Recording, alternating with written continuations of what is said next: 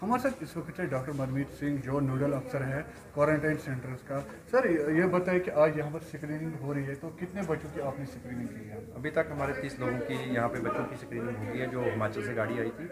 वो गाड़ी यहाँ पहुँचने के बावजूद उनके बाद हमारी मेडिकल टीम जो लगी हुई है यहाँ पर उनकी स्क्रीनिंग हुई तो ये बताइए कि अभी तक कितने स्टूडेंट्स थे जिनको आपने यहाँ पर स्क्रीनिंग किया? तो अभी हम प्रॉपरली इनकी स्क्रीनिंग ले रहे हैं यहाँ से। कुछ स्टूडेंट्स का ये भी कहना है कि वो उनको कल यहाँ पर लिया गया फिर उनको घर भी लिया गया।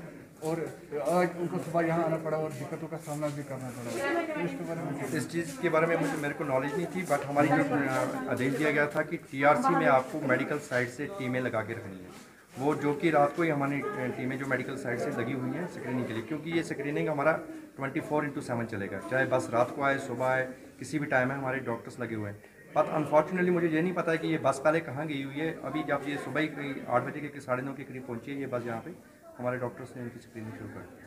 चलिए शुक्रिया बात करने के लिए। ये थे डॉक्टर मनमीत सिंह और इनसे हमने बात की और जाना जो यहाँ पर जो स्क्रीनिंग हो रही है।